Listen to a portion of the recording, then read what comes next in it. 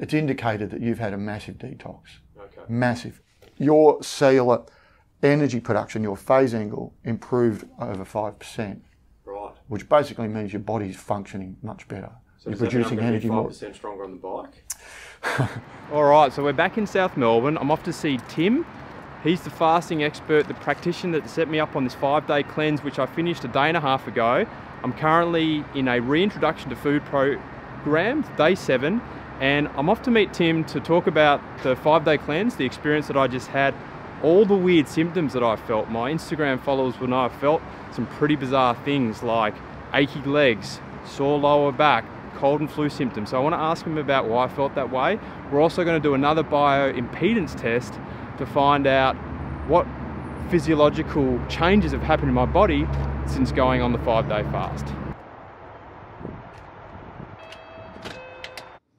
All right, so Tim, I want to talk to you about all my side effects. I want you to explain Yeah. to me why I felt that way before we go through the bioimpedance test, the results that I've got Yeah. over the last Yeah. um, what six or seven days. Well, when did we last do that? It was two weeks ago, was it? We did it two weeks ago, Two weeks so ago, a few yeah. days before you started. Yeah, yeah, about five days before I started. Yeah. Yeah. And as long as you didn't do anything crazy, like you didn't go on a crazy monster carb loading fest before No, the no, fast. I just uh, kept Just- it normal. Yeah, okay. If you kept it normal, it's fine. Yeah, yeah. Um, but before I go into side effects, Mm-hmm. I gave you a message the day after. said, "When can I have coffee?" And you said another seven days, and it's absolutely destroying me. Well, I'm feeling a little bit better now, but that text back from you saying no caffeine for another seven days. Why am I? Why am I not allowed caffeine? Well, because what we'd established initially when we first, in the first, you know, consult when we were chatting, looking at your day-to-day functioning, day-to-day energy levels, what you eat and all that sort of stuff, basically you have a bit of a, you were reliant a bit on coffee as a fix, an energy fix. And it's an artificial fix. So it, you know, stimulates the liver to produce more, uh, to release more sugar into your bloodstream, you know, via, sort of a fix via the adrenals to stimulate the liver to, you know, release more sugar. And that's great in the short term, and in the long term, it can drain you. It can be bad for your nervous system, bad for your adrenals, and so it can rob you of energy, amongst other things.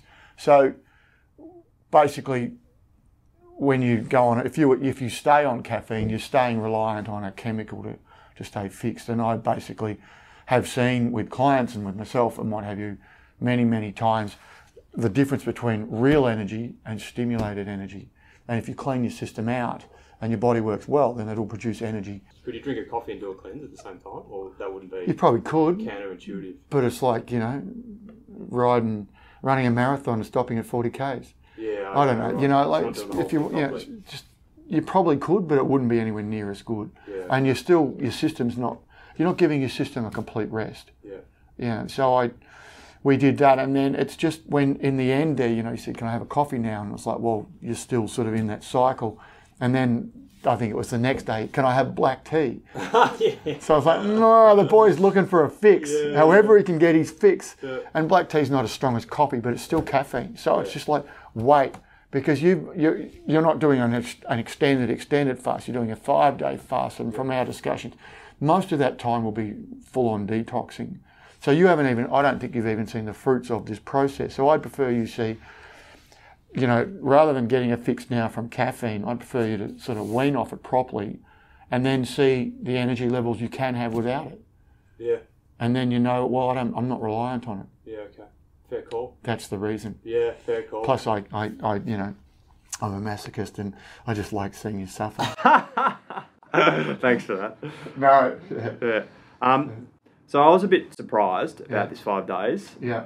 The way my body reacted. I was Yeah. anticipating from just watching a few videos and things that I've seen that I was going to start feeling really good on day four and five. But it turns out that I felt like the first two days I was um, getting through coffee withdrawals, Yeah. and then day three I went through like into detoxing, Yeah. and it was day three, day four.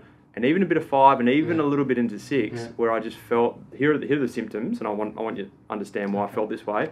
So I had achy like abs and lower back. Like I Yeah. almost feel it internally. It was aching, like my organs were aching. That was Um, day three, four, I think you're saying. Yeah, day three, four. Yeah, and even a little bit of five. Um, I had pretty much bad sleep the whole time. I woke up a number of times in the middle of the night, Yeah. found it hard to get back to sleep, like around three thirty a couple of times.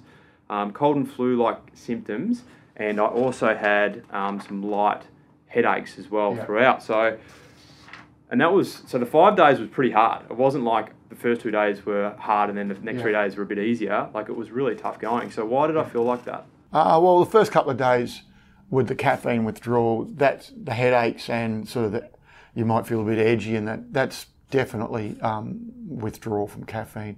So some of those symptoms could be that, but a lot of those symptoms you're talking about, in fact, all of them are classic detox response. So it's like your body's putting out the garbage. So it's so you know cells are cleaning out, and you know the liver's metabolizing more toxins because your body you're not putting more toxins in. You're giving your digestive system a rest, and you're saving a fair bit of energy from digestion. So your body spends more energy on metabolism and what have you, and you basically you're cleaning your system out. But it'll in the process of if it gets released out of cells or out of organs, then it'll be in your before it gets released out of your body it'll flow around your blood system so what you've gone through because you've done a five day fast you've gone through you know in the times i've done fast there the first five days were the toughest days so you've gone through the, the big de- the big detox Right. you know that's the big cleanse Yeah. Okay. so um, i'm not surprised that that's what you felt Right.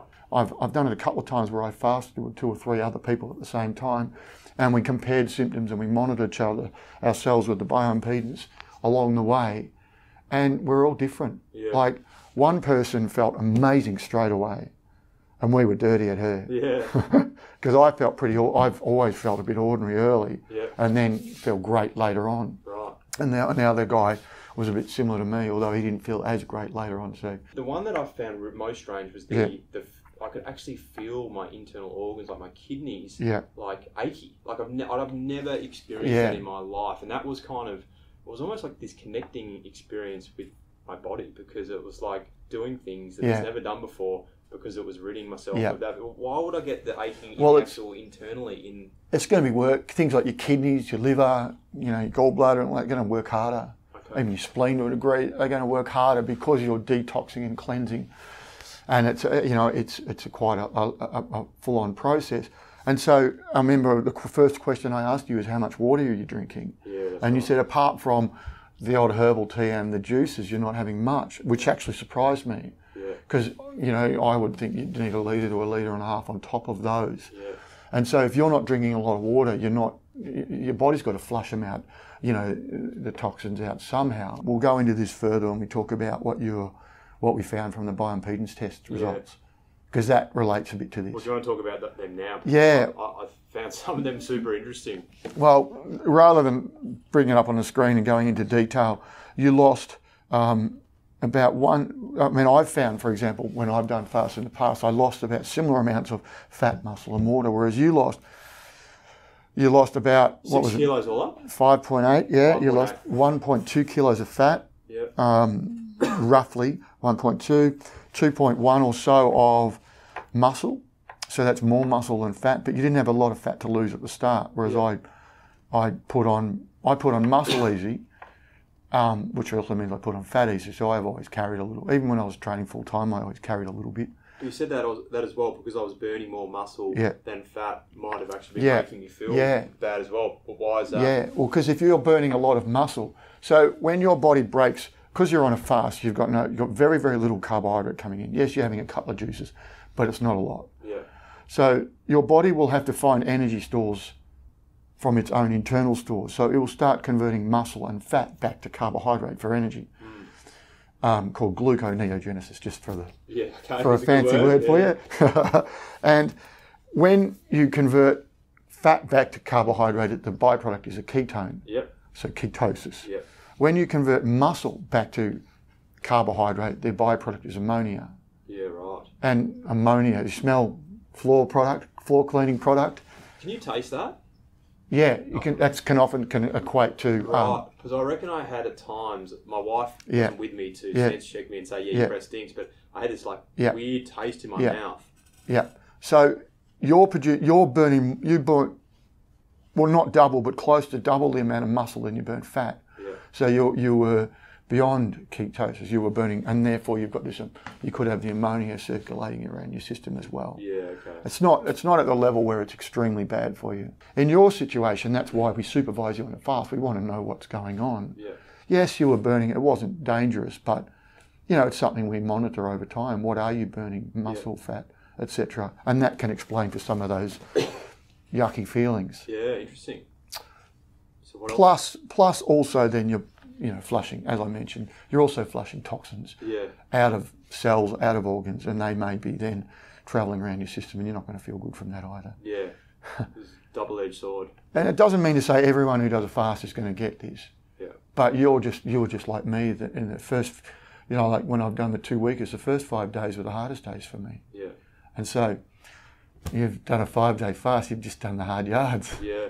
But what we also found from that test, so that's the body composition changes. Your abdomen drops seven centimeters, which is what's that, three inches. Yeah. Um, it's pretty cool. Yeah. yeah. My But- pants are falling off me. actually. Yeah, um, but in terms of water loss, you lost over three. You lost three point two five kilos of water total, and we've, we we want to have more water inside the cells than outside the cells. I think it's roughly 60-40 inside compared to outside. And you stripped, and so if water gets drawn from the inside of the cells to the outside of the cells, it means there's something going on. And that normally that will be some sort of chemical reaction that water is drawn to, and that will be normally toxicity or inflammation or infection. And in your case, you lost most of that 3.2 litres of water was, was extracellular water. So your basic body's basically, you've lost, you know, when you're losing that much extracellular water, you're, um, you're, that's, an indication you're flushing toxicity. But Right. they're, yeah. So you're That's losing toxins. Yeah, it's a great sign. Right. So when I've found in that phase when people do a fast or they do a detox program and when their water extracellular water levels drop, I've generally found that's the time when they start to feel really good. When it starts when that drops and then it starts to plateau. We don't know that with you at this stage, but I would expect you'll start to feel pretty good within the next day or so. Oh, you've already said now, yeah, you've so- already started to perk up Yeah. now. Yeah. And the first day after the fast is not really, you're not going out and having lots of food. It's pretty basic. Well, it's broth without the without it the just like four big glasses of water with a little bit of stuff in it. To Yeah. be honest, it didn't. So it's pretty much still like- fasting. It is. Yeah. Yeah. It felt like it. Yeah, but we just take it really slowly, reintroducing you to food. So essentially, you're you what it's indicated that you've had a massive detox, Okay. massive. And what that also showed was that your we look at a thing called phase angle, which looks at how, the ability of the body to hold on to the, the charge, because there's a difference in charge from the inside to the outside of a cell. If my cells are really healthy and round and robust, like grapes, they'll hold on to the charge better. And therefore they'll do their job better. In other words, they'll produce energy better and they'll do whatever job their job is. So a, a cell in your brain will do what brain cells do better, etc., etc. So your cellular energy production, your phase angle, improved over 5%, Right. which basically means your body's functioning much better. So You're does that mean I'm producing energy more. 5% stronger on the bike. Yeah, it's nice. It would be nice to say that, but I don't have a direct correlate between. I don't have a longitudinal study that's done a comparison of improving phase angle and performance on a bike. So, Okay. can I say that definitively? No. About to find but- out. Yeah. But what we what we can say is is that you're more likely to be producing energy more efficiently, and let's see, let's see. You know, it- yes, you definitely are producing more energy more efficiently. There's less what we call fluid retention, less inflammation, so your body's cleaner or work better. Theoretically, from that, then you'll recover better between sessions because you'll because everything works better. Yeah. Okay. Your cells are working better. Your body's cleaner in general. I guess it goes back to that using the right fuel and giving your car a good clean Yeah. service and tune, Yeah. it'll just function better.